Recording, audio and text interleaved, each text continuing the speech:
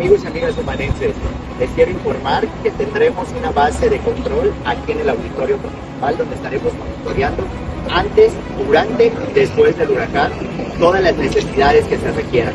Les pido a todos que estemos comunicados a través del 911 y aquí vamos a estar comprometidos como siempre lo hemos hecho. El comandante también a través de su base en la comandancia y también aquí en el auditorio se estarán patrullando todas las calles del municipio para guardar todo lo que es la seguridad del municipio. Les pido a todos y cada uno de ustedes que actuemos con responsabilidad. Esto no es un juego. Les pido a todos y cada uno de ustedes que permanezcan en sus casas durante el paso de este huracán. Trabajando juntos, unidos y en equipo, seguiremos dando buenos resultados para el municipio de Humano.